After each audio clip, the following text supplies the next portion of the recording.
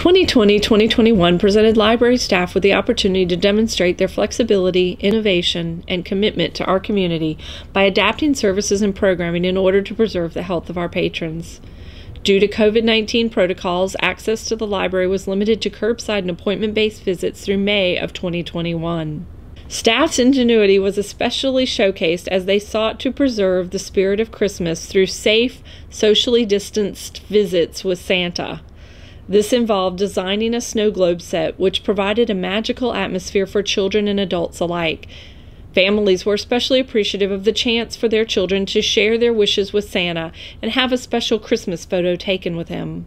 These programs were so well received that an additional night with the Grinch was also offered at the Charles R. Jonas Library. Children were entertained as they visited the Grinch's lair in Whoville.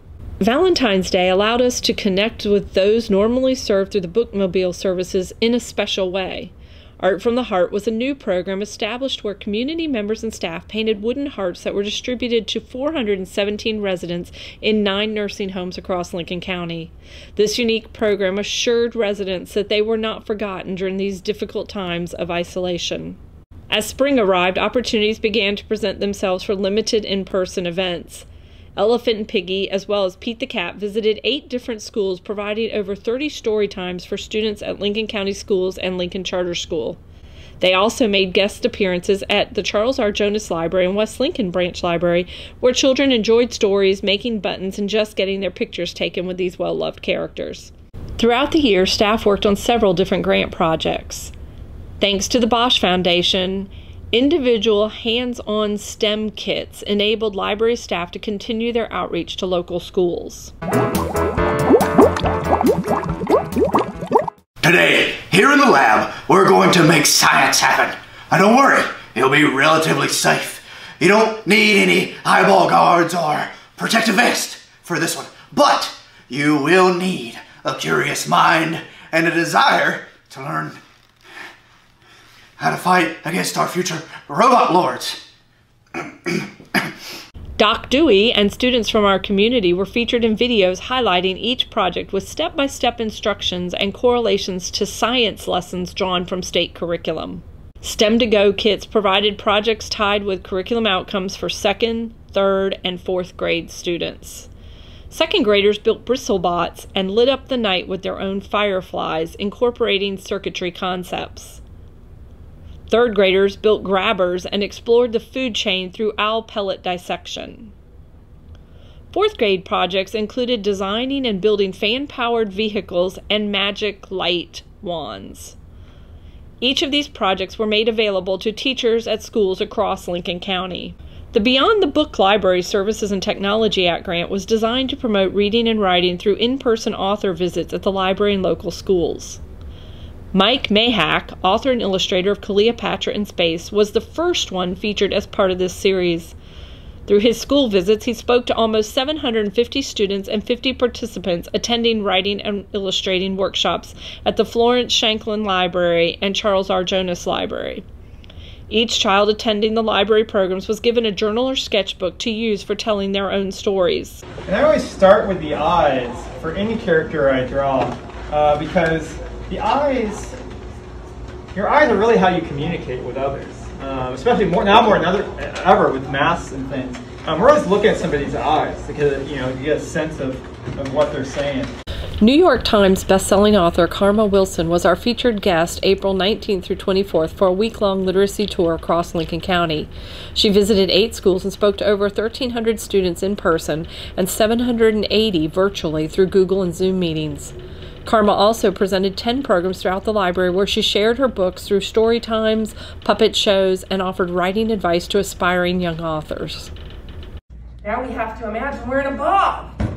But before we can imagine we're in a bog, we kind of need to know what a bog is, right? Yeah. Yeah, right? Anybody have any guesses? What do you think of bog? A log. A log? It rhymes with log, but it is not a log what ah What do you think? A pond? A pond! Or a swamp! Now, riddle me this.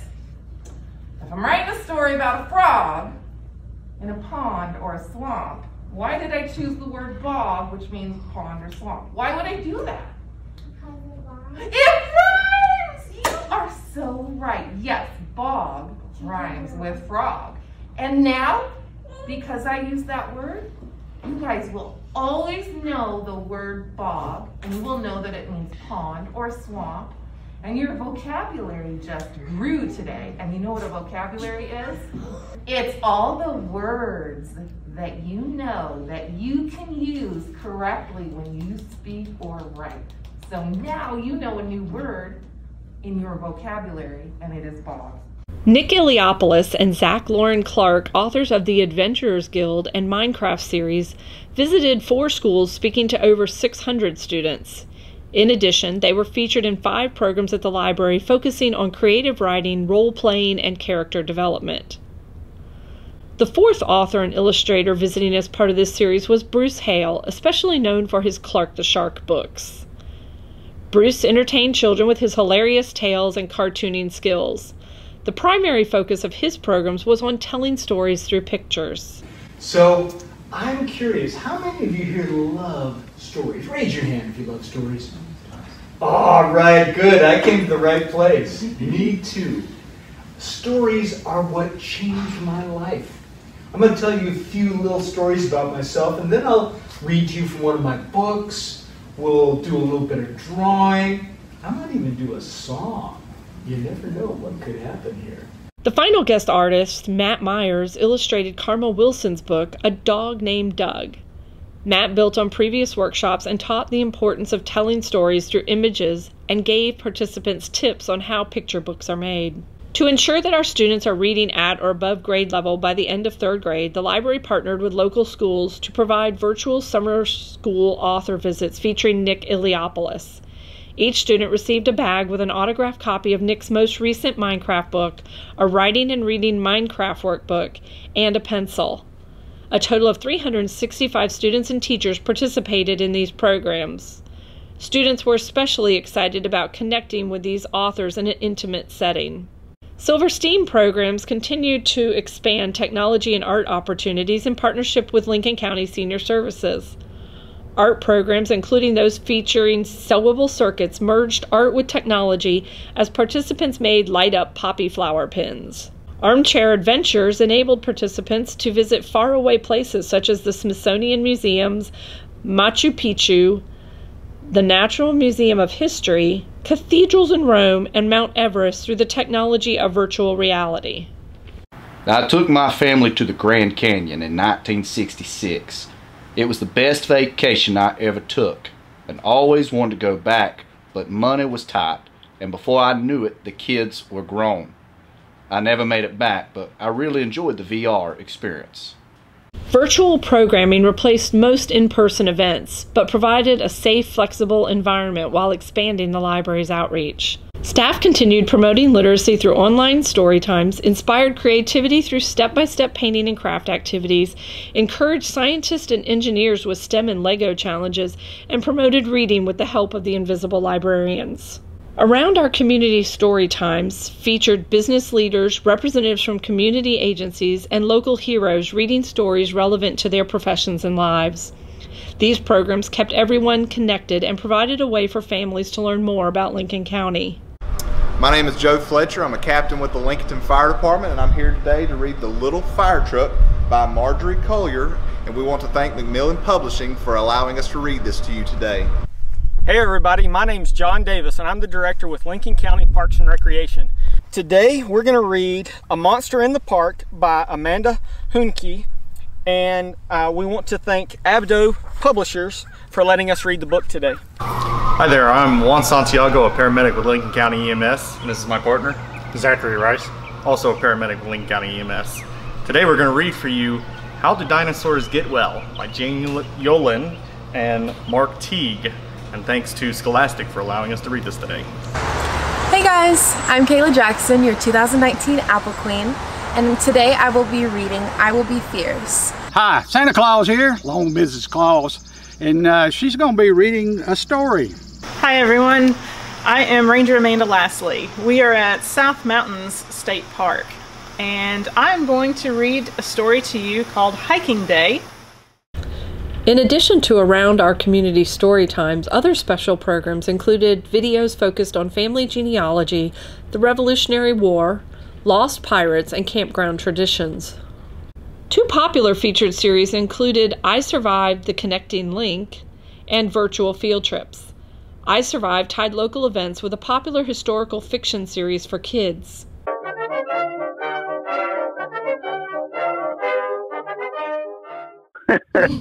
but I had thought of uh, enlisting before, but I did go with the second group of uh, teenagers when they lowered the draft to 18.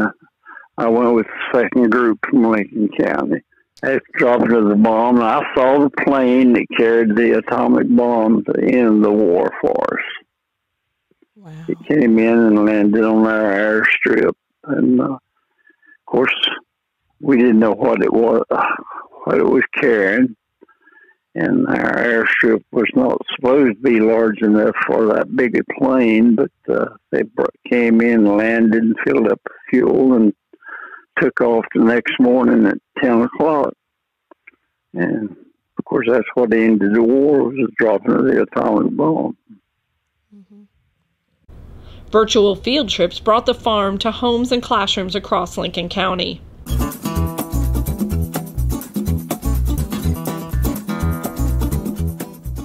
Hello, my name is Evan Crawley and I'm with Lincoln County Soil and Water and we are with uh, Corey Lutz, Bridget Lutz, uh, on Piedmont Jersey Farm to look at their uh, milking operation, go over their farm and kind of take y'all on a virtual tour of how their system works. Uh, can you kind of explain what these cows are and the reason why you chose, yeah. chose to go with them? Yeah, there's, uh, there's actually five uh, dairy breeds in the United States. the most popular are the big black and white cows, which are the Holsteins. Holsteins weigh about 14, 1500 pounds and uh, probably average about 75 pounds of milk per cow.